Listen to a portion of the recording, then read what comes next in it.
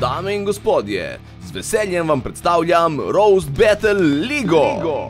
Tekmovanje, kjer se bo deset slovenskih komikov pomerilo med sabo v tem, kdo je lahko bolj žaljiv. Pojdimo kar na prvi battle med Davidom in Aido.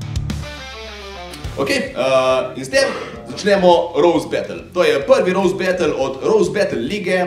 Deset komikov bomo imeli, vsi grejo proti vsem in danes bomo prva dva. Na eni strani David Gorinček.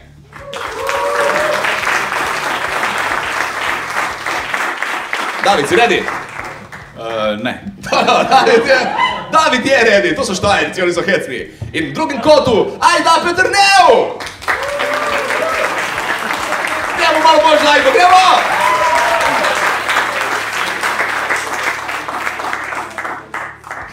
Bi rekel lepotica in zvir, ampak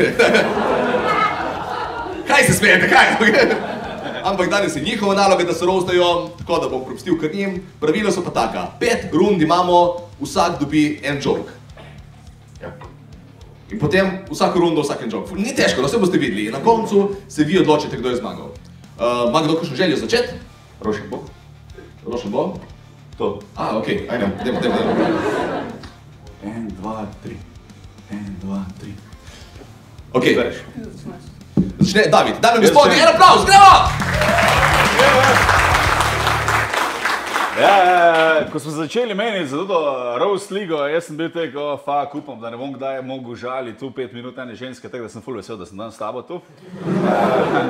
Ej, ko jaz njo pogledam, se na, mislim ženska, mislim, mislim tak ministranti, jel? Kukrat je župnik slekel, pa je rekel tek, a ja. Pardon, no. Eh, Ajda misli, da je študirala kiparstvo, ampak sem starši niso imeli srca povedati, da so na posebno šolo dali. Eh, eh, žele- Želela dobiti naziv športnika razreda, eh, pa ni ratalo kljub tej aerodinamični faciji. Ona seksa tako se ona smeji. Ok. To je to. In zdaj, ajda! Dvega, o, ja. Um, David je uspešen, zabaven, postaven. Čakaj, pa ne bo ta prav, da se vseh sem umečken. Evo, ne, sej se, sej se hecam, iskreno on meni zgleda top. On zgleda meni tako, da bi ga naredil sam Michelangelo, ki je bil pijan. Ima ločena starša, ampak nista ločena med sabo, ampak od njega. Šest let je delal v kelnariji, kar je v bistvu sama lepši način, da rečeš, da si alkoholik. To je res, to je res. David je komik, ampak je to komik, kot je stevardesa pilot. Pa če tam zraven, noben ga ne posluša, pa neuporaben je, če pride do česa resnejšega. In to je to. Okay. Dobra, Prva runda, dajmo aplauz!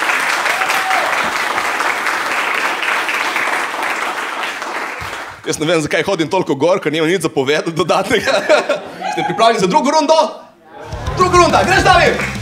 Super, super eh, barvo poti imaš, ajda kito, dobiš kak st- to solari, avstrijska klet. Eh, Res, Fritz LSP, prideš ven bolj bel, kot šel not. Ja. Garantirano, tako je garantirano, da ona sladkorno. tako Da, ja. uh, ne vem, če veste, uh, ajda se danes rihtala. Tako da, ajda 5 na 1, 9, 1, 9, prosim. Ne? Uh, ja, zgledaš tako nezakonski otrok Harry Potterja, pa IT-ja. Okay. Dajmo aplauz za Davida! Ok, ajda, greš! David ima disleksijo, ampak dela na radiju, tako da genijal Lahko snili. Um, enkrat sem ga poslušala po radiju in moram reči, da sem neizmerno uživala v oddaji o kontracepcijskem taborišču. On še banke ne bi mogel ropati, bi prišel v banko, pa se zadrl, zrak v rob.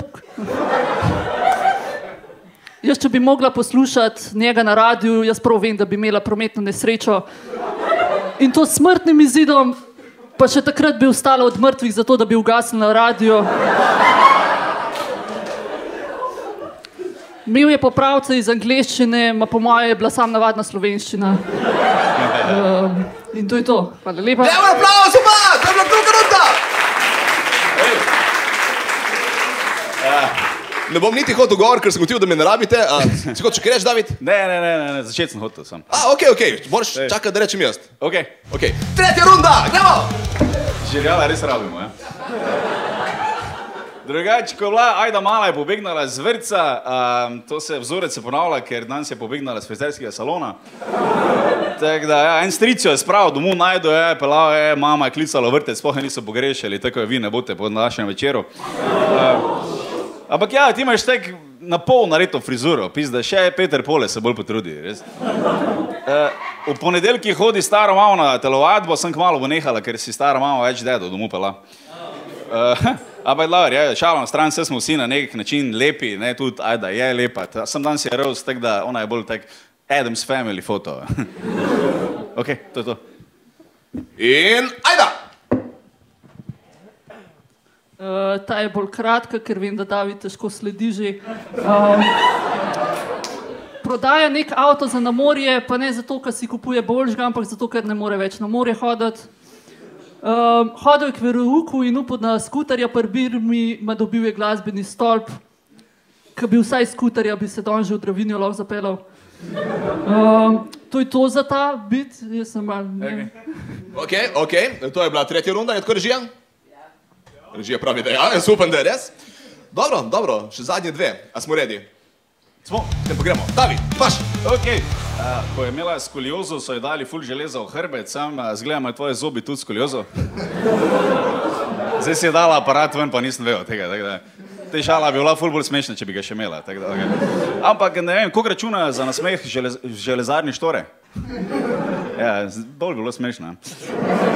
Da, še ena imamo to temo. Vesoljci so prišli na zemljo, so mislili, da nas morajo ustaviti, pa so rekli, da ni, ni panike, smo ajdo videli, nimajo atomske bombe, ker še lokomotive tudi ni. Večkrat ajdo omeni, da je možgani ne delajo, tako da če bila reperka, ne je bila Masaja, ampak meni se Aja. Ajda je šla enkrat špricati v osnovni šoli in kaj je šla, kam je šla špricati? Po šoli je hodila in mal.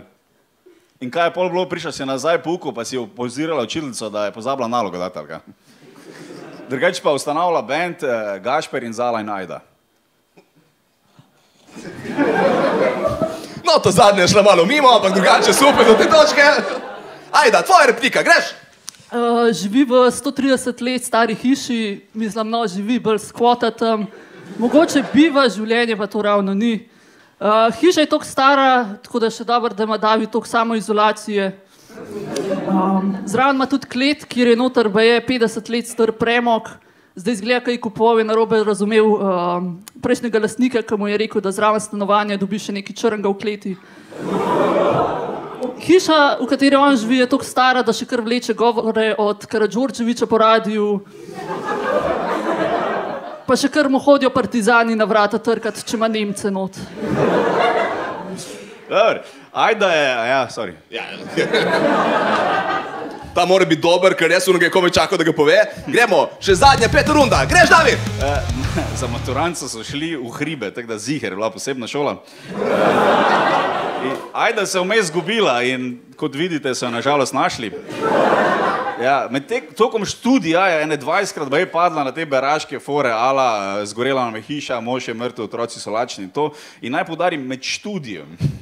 Kam si hodila? Na šelski, še, šolski center, piramidna schema? Uh, ene 300 evrov je skup stalala tem ljudem, tako da, ajde, ne vem če veš, ampak izgubljene dolžnosti stane 100 evrov, tako da, poraša žerjala. Ko si Ampak je, drzne. kasneje je eh, izgubila nedolžnost, ker je padla na trtico z longboardom, čestitke. Uh, je pa eno lepo sošolca en cajt pisala nalogo, tako da škoda nisem prevedel, je le fore napisala. Sam pol ne, le dobre. Ja, ok, to je to.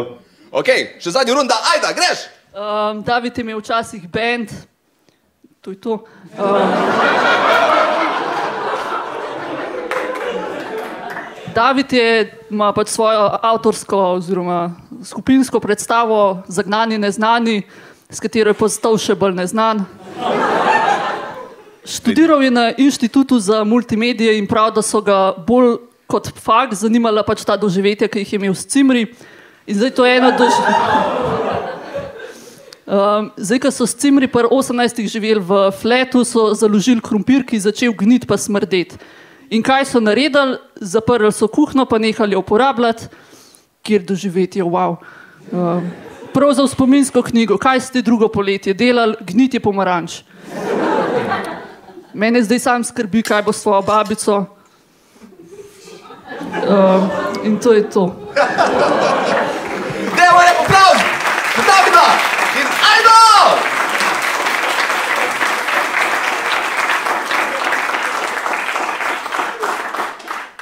Zdaj, oba sta bila zelo dobra, ampak en načeloma bi lahko bil boljši. In to boste ocenili vi. Zaploskajte vsi, tisti, ki vam je bil boljši, David.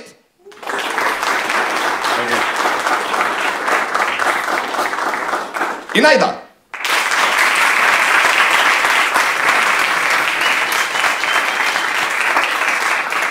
Še enkrat biti sigurni, David. Zakaj mi to delaš? Ajda. Okay. Zmaga večera, gre, ajde, en aplaus, ajde, potreb!